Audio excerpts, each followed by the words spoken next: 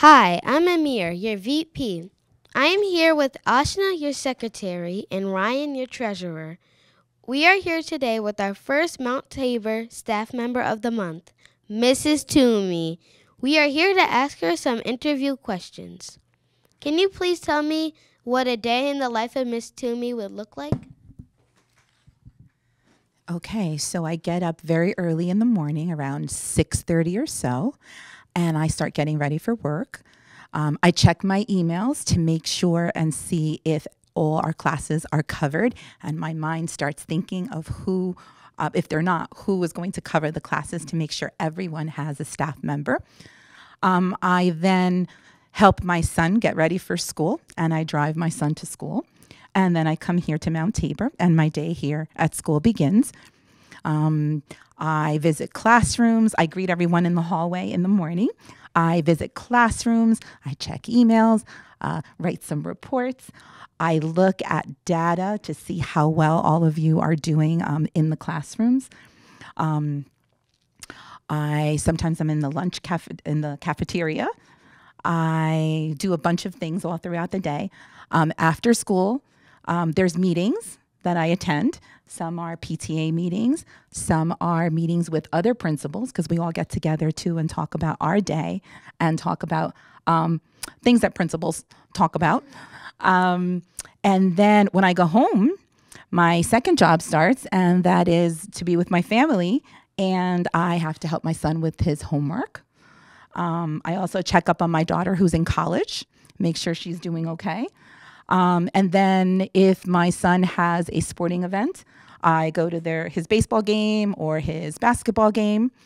Um, and then it starts all over again um, the next day. Thank you, Miss Toomey. That sounds like a very busy day. The next question is What are your hobbies? Uh, oh, okay. I love to read. Um, I also love to play the piano, and my all time favorite is to travel. That sounds like some very fun hobbies. How many years have you been a principal at Mount Tabor? Altogether, I've been a principal 19 years, and this is my 10th year here at Mount Tabor School. That's a lot of years. Thank you. If you could be anything else besides a principal, what would you be? That's a tough one because I have always wanted to be a principal. So let's see. I'm thinking I've always loved to work with children. So I would have to say teacher. Before I was a principal, I was a teacher, but I was also a piano teacher and a dance teacher. So that would be something that I think I would love to do again is to teach piano and teach dancing. Thank you, Mrs. Toomey. Now for our next question. what is your favorite color? I think almost all of you know this one purple. That's, just, that's also my favorite color. wonderful. What is your favorite part about being a principal? My favorite part about being a principal is going to your classrooms and seeing all the wonderful learning that you're doing. I love to um, sit down next to you on the rug or in small groups and just listening to your ideas and um, you know all, all the things that you're all the things that you're learning. That's the best part of the day. I remember you coming to my classroom a couple of years ago. My last question and my favorite question What is your favorite food? Well, my family is from Cuban descent, so I love Cuban food.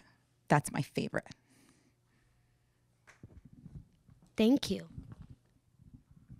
How many kids do you have? I have uh, two kids. Um, my youngest is Aiden, and Aiden's in sixth grade. He's 11 years old. And I have a girl, Bella. She is in her second year in, um, in college, Quinnipiac, and she is studying to be an occupational therapist. Wow, that's really nice. What is your favorite? Where is your favorite place to travel? My favorite place that I've traveled so far, I would say, would be Italy. Um, it was wonderful. It was a cool place. It was very interesting to see things that I have seen always in textbooks or photographs and get to see them in real life. So that was an exciting trip. I went to Italy. and It was like very beautiful. What are we doing now? Isn't that wasn't that our last? What is some advice you would give to students who are feeling upset or nervous? The first thing I would say is that it is okay to feel nervous and upset. Um, and when you do, it's important that you talk about your feelings. So you can talk to someone uh, that you are close to. Uh, that may be a friend or that may be a parent. Um, or it could be someone right here in school. It could be your principal, it could be your guidance counselor, your teacher. So it'd be really important to let someone know if you're feeling upset um, or nervous and let them help you through it. Wow, we learned so much about Miss Toomey, our principal. Thank you for your time. Tune in next time for our next interview. Thanks for joining.